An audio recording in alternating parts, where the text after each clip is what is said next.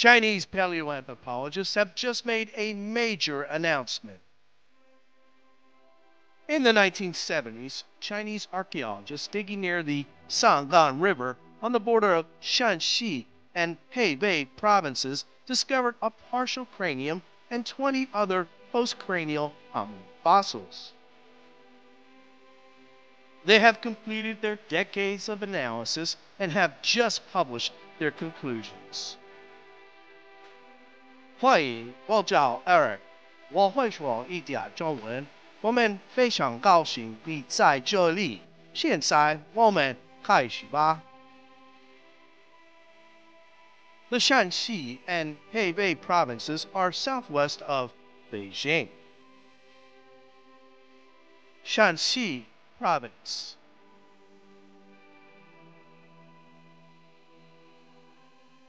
Hebei province.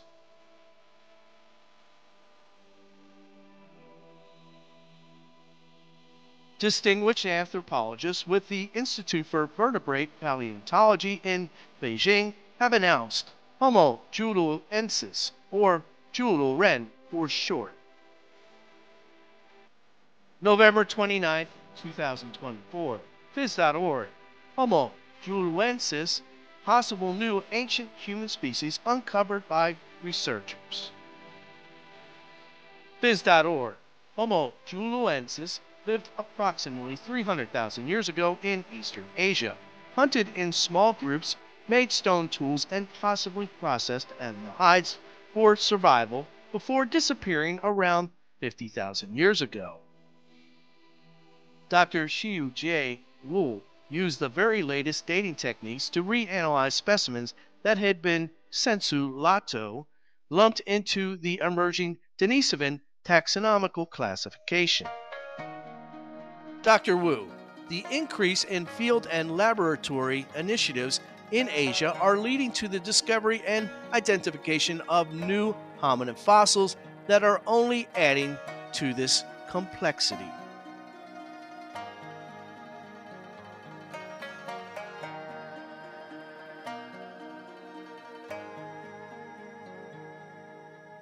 Paper. There is a greater degree of hominid morphological variability present in Eastern Asia than previously assumed. Homo juluensis includes several well known fossils that were previously thought to be Denisovans but had remained uncertain. These include, quite notably, both the Penghu and Tibetan Plateau mandibles. Homo juluensis existing fossil record. Continuing, indeed, a number of distinct populations are present, some that now have new specific names. We describe the various groupings based on the current hominid fossil record. Please take a few moments to look at the chart in the paper.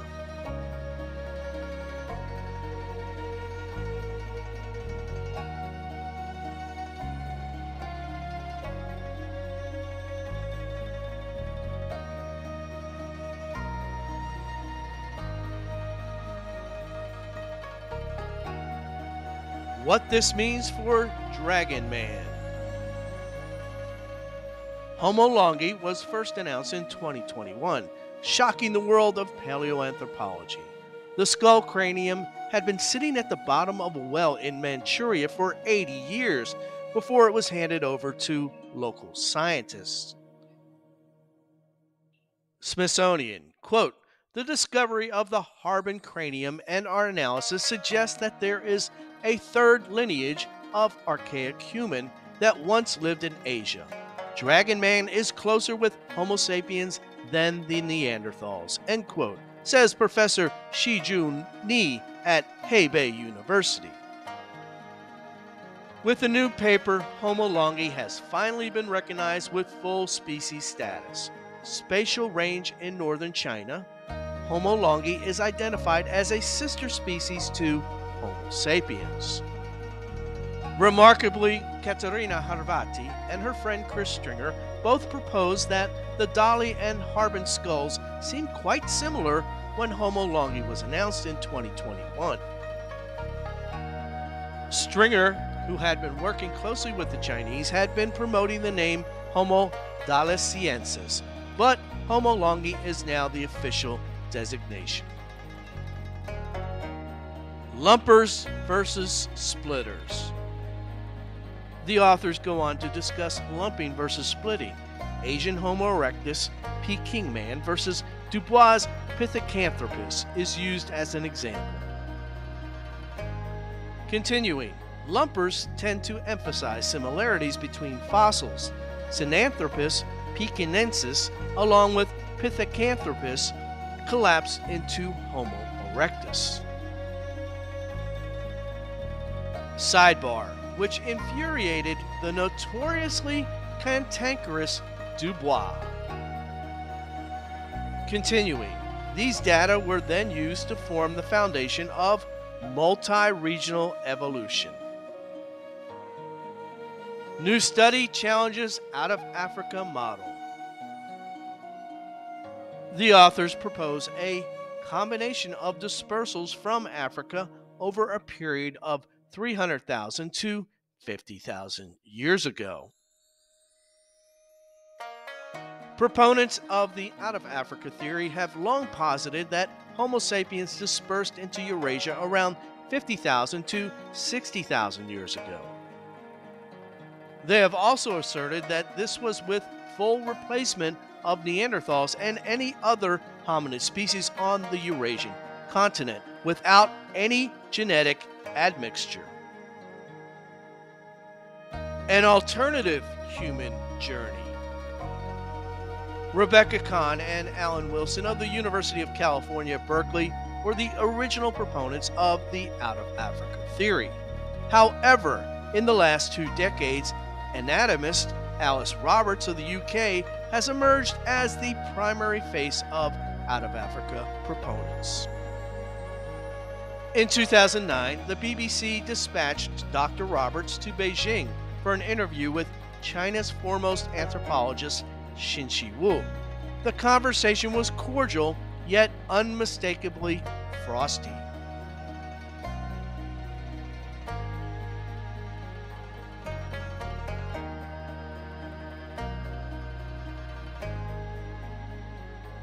Alice Roberts gently pushed back on Dr. Wu, exclaiming that there was little basis for multi regional or for a continuity model from ancient Chinese descended from Homo erectus to modern Chinese.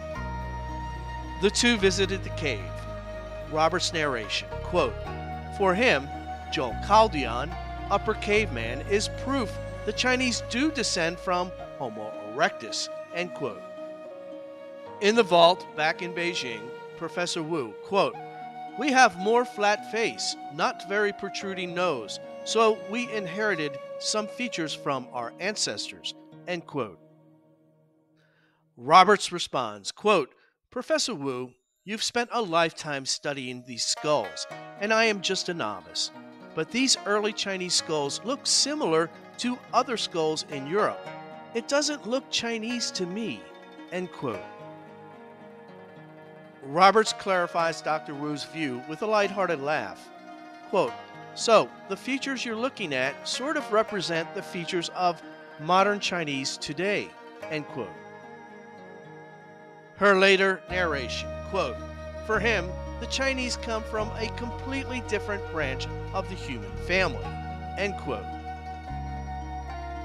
Now, 15 years later, Wu and Bae find continuity in Eurasia modern humans dispersed out of Africa in multiple waves and interacted with smaller indigenous populations regularly. Evidence increasingly shows distinct lineage for modern Chinese. As the paper's authors note, in China, fossil evidence was always interpreted that modern Chinese people today could trace their ancestry directly back to Homo erectus, Joel Chaldean. From the abstract, modern humans across Eurasia likely arose as a result of a combination of dispersals and introgression events, showing clearly that multiple hominid lineages were present in China.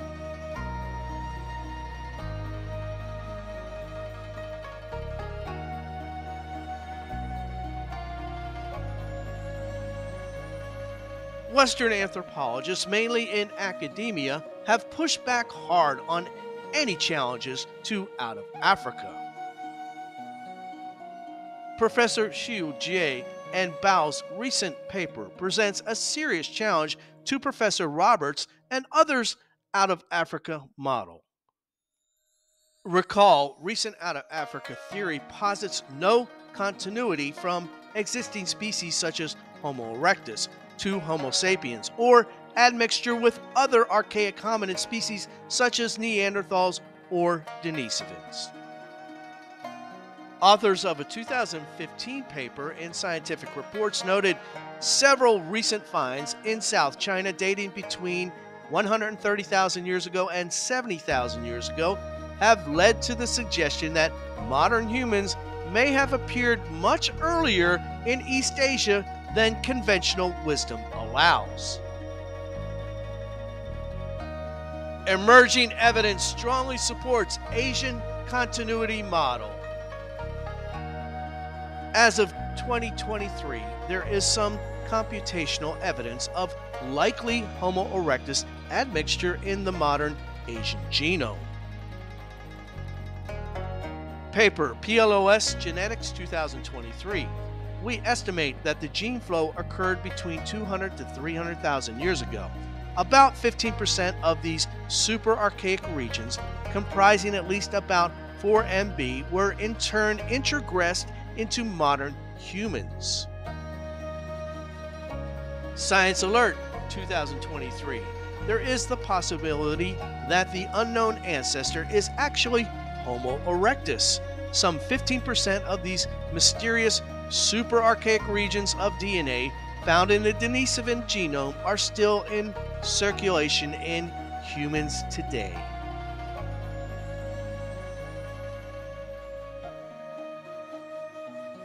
Quanta Magazine, Fossil DNA 2019. When the team looked at the Denisovan genome, they found fragments of DNA in it from an even earlier hominid. It might have been Homo erectus, which split off about 1 million years ago. Continuing from Quanta, quote, we're starting to see the next wave of methods development, end quote, said Joshua Akey, a professor of genomics at Princeton University. Quote, and that's allowing us to start making new inferences from the data that the previous generation of methods couldn't make. End quote. Modern Chinese fully evolved directly from Homo erectus remains a possibility, but at this stage, given the paucity of evidence, hard to confirm. As new fossil evidence emerges, we may learn that there are two subspecies that diverge from Asian erectus, Julu Ren and Dragon Man. What is now confirmed is over 300,000 years dispersal on the Eurasian continent. That is ample time for separate evolutionary paths for Asians to diverge from the Africans. From the existing molecular evidence and the new analysis of the fossil evidence just announced, one thing is clear.